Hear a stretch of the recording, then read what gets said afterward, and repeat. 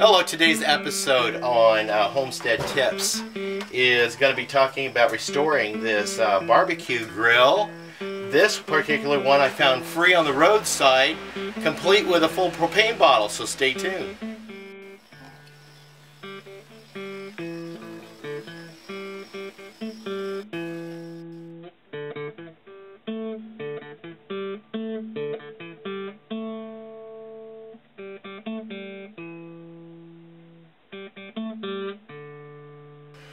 Hey folks, I'm your host Jerry Hanson. Welcome back to Pine Meadows Hobby Farm for a free tip, a homesteading tip. Well, it could not necessarily be a homestead, any tip. Yeah, I found this grill on the side of the road with a free sign on it uh, about six miles down the road on my way home one day. I was just like, yeah, I'm not passing this up. I mean, the, the whole unit looks pretty decent.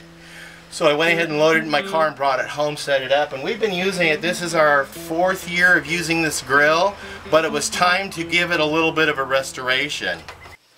So with the grill being a mess and rotting, I went down and purchased a new grill and also had to pull out these burners because they were decaying and it's not functioning right. Plus, the unit was void of the, um, oh, the flame shields that would get more even flame so I was cooking unevenly but I was dealing with what I had.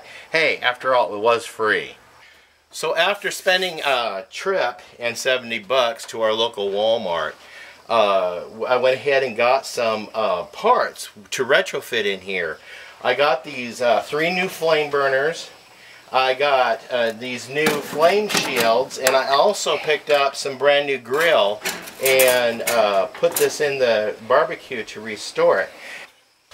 Well, that's my story on my uh, homestead tip about free items that you can pick up and restore for a relatively inexpensive price. I think this unit here will retail for about uh, $250, somewhere around there. So I only have $70 into it. It was, uh, it was alright. I'm your host Jerry Hanson. This is Pine Meadows Hobby Farm. Please stay tuned for more videos. You can do that by subscribing or clicking that bell icon down below. That'll let you to new videos as I upload them. You can also give me a thumbs up and leave a comment. That helps out the channel. And also sharing my videos on social media. That also helps out our channel. You can follow me on social media. I'm on Twitter, Facebook, Pinterest, Reddit, Blogger, Instagram, Snapchat uh, Tumblr, and LinkedIn. We'll see you guys again in more videos and more barbecues. Bye-bye.